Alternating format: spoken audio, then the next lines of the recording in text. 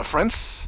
This is the Tiny 7 frame with Tiny 7 props, a BeeBrain flight controller, 720-14 motors, and a 255 milliamp high voltage my MyLipo. All up, this thing weighs 37 gram and it flies quite nice.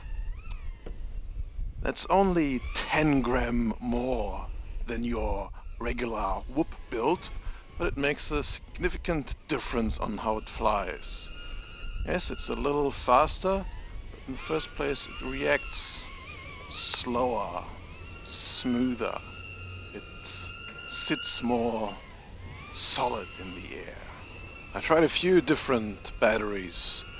With smaller ones, the punch wasn't there, and with the larger ones, it just felt a little bit too heavy but 255 milliamp high voltage packs gives a solid three minutes flight time and some really nice performance. So in general, I really like that 7 by 20 millimeter setup, but also that frame is very nice. I think the Tiny 7 frame is one of the best Whoop style frames I've seen so far.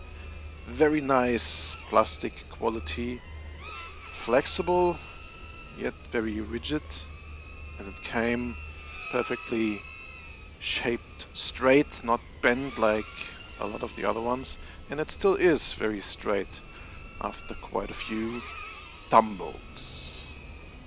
I haven't changed any of the PIDs on my flight controller, literally just took that BeeBrain from an existing setup and dropped it onto this one. Works just nice.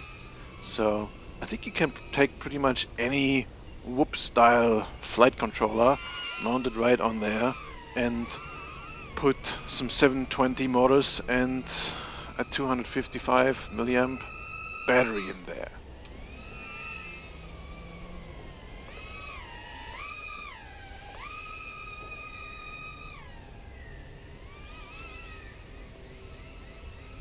If you want to copy this build, I'll put links to the required parts into the video description.